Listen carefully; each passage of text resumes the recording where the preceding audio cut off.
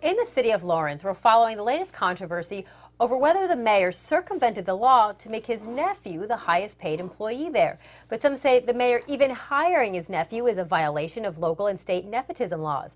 RTV6 reporter Jack Reinhardt has more from Lawrence.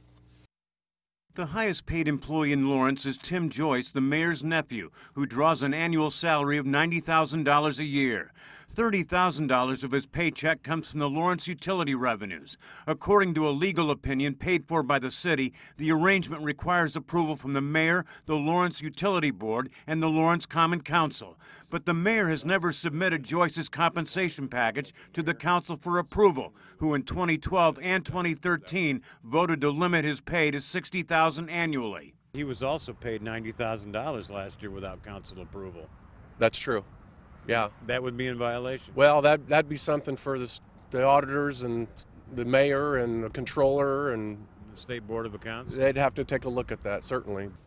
He's he's my nephew. Mayor Dean Jessup, who hired Joyce to be his economic development director, says that hiring a blood relative didn't break any laws. He was hired before uh, before that nepotism statute was passed. But since his initial hiring in 2012, Joyce's duties changed along with his hefty salary. The mayor says Joyce assumed duties created when other positions in government were eliminated. And that, says former council president Linda Treat, would put him in violation. If they changed his title, um, in my opinion, again, then he would also have to go through and he would be breaking that ordinance as well if uh, they put him under a new title because as a relative he cannot be put in under a different title that's not been not approved by the city the mayor defends his nephew's hire as legal, saying that he couldn't find anyone with his qualifications at a $60,000 salary.